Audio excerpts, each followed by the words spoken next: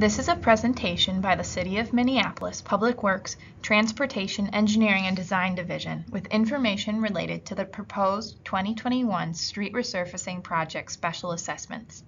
A special assessment is a tax collected by the city for improvements or services the city provides that benefit your property.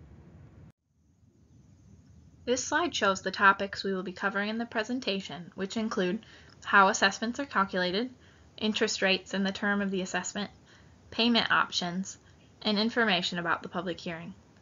We will also list resources and contact information if you have any questions about your assessment. There are two components that are used to calculate special assessments for street improvement projects in Minneapolis. The first component is the influence area, or more specifically, the square footage of your property which is within the influence area of the project. The second component is the uniform assessment rate for the proposed improvement. Assessments are calculated by multiplying the influence area square footage by the uniform assessment rate. We will explain both of these assessment components in more detail in the following slides. The influence area method involves bisecting the angle at each street intersection to create non-overlapping areas of influence. Doing this creates four triangular influence areas in a typical downtown block, like the example on this slide, and trapezoidal and triangular shapes in a typical residential block, like the example on this slide. This slide illustrates what an influence area might look like for a typical residential street. If you look at this typical residential block example, if Avenue B was being resurfaced, the property area within the pink trapezoid would be within the influence area of the project and subject to assessment. This influence area method is a way to uniformly assess properties based on square footage that is fair to corner properties. So in this example of a rectangular corner property, only the relatively small pink area will factor into their assessment for Avenue B. However, they will be assessed based on the white area when Street Q is improved. Uniform assessment rates are reviewed and updated annually and approved by City Council. The uniform assessment rate is the same for each type of improvement for all similar projects throughout the city. The 2021 uniform assessment rate for street resurfacing projects is 66 cents per square foot for non-residential properties and 22 cents per square foot for residential properties. Again, this uniform assessment rate is the rate that is multiplied by the influence area to calculate each assessment amount. This slide illustrates how your assessment is calculated using the dimensions of a standard residential lot where all of the parcel is within the influence area of the project. The total square footage is determined by multiplying the length by the width.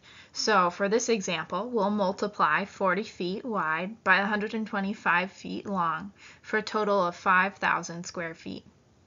This number is then multiplied by the uniform assessment rate, which is 22 cents per square foot. We'll come out with a total special assessment of $1,100 for this lot. Your assessment amount may vary from your neighbors. That is because not all parcels are the same size, and some parcels are not located entirely within the project influence area. Assessments over $150 will be collected in five annual installments. Assessments of $150 or less will be collected in one installment.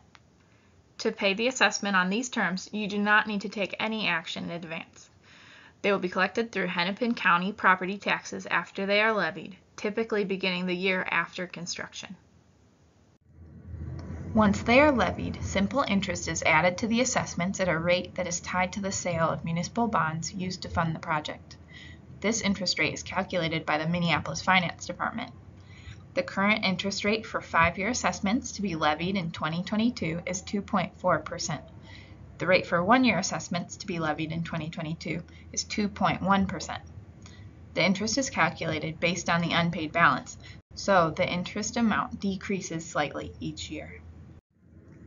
Let's go back to the sample assessment we saw in an earlier slide. Our sample assessment amount was $1,100.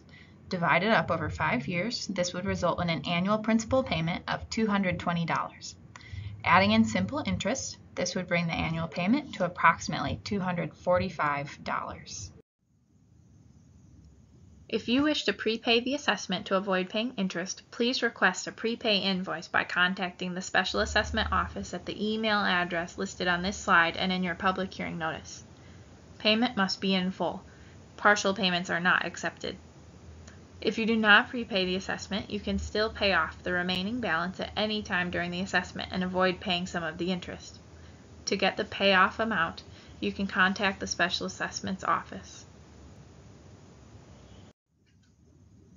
There is a deferment option available for seniors 65 and older, individuals who are permanently and totally disabled, and certain military personnel. To qualify for this program, the property must be homesteaded and the assessment must be $750 or more. Please note that this only defers the payment until some point in the future. It does not reduce or eliminate the assessment. The amount is added to your property taxes and continues to accrue interest until the property is sold or changes homestead status. For more information on this program, please contact Paul Keating in the Special Assessment Office. A public hearing will be held to allow for public comment on this proposed project. During the declared local public health emergency for COVID-19, Minneapolis has transitioned to an electronic format for its public meetings and hearings. The date and time of the hearing is listed in the public hearing notice you received. Ways to participate in the public hearing are detailed at minneapolismn.gov/meetings. You are not required to participate in the public hearing. If you wish to object to the assessment, you may write a letter and send it to the city clerk's office or email the city clerk at the email address listed on this slide and in your public hearing notice. Your written objection must be received no later than the date and time of the public hearing. You also have the option of objecting by providing live comments by phone. Anyone interested should fill out a form found under the Participate by Phone in the Meeting heading. Once submitted, a phone number and conference code will be emailed to you. Contesting using any of these options preserves your right to appeal to district court. If you have general questions about the assessment process or questions specific to your property's assessment, we encourage you to email the Special Assessment Office for more information. If you don't have email, you can also contact the Special Assessment Office at 612 673 2401 and leave a voicemail. Staff will return your call as soon as possible. If you have questions related to the project, such as when the work will be done, access issues during construction, etc., please contact the project manager at the number listed in your public hearing notice letter. Thank you for taking the time to view this presentation. Additional information is located on the Special Assessment website listed on this slide. There's also a frequently asked questions sheet that can hopefully answer any questions you might have. Or you can email the Special Assessment Office for more information.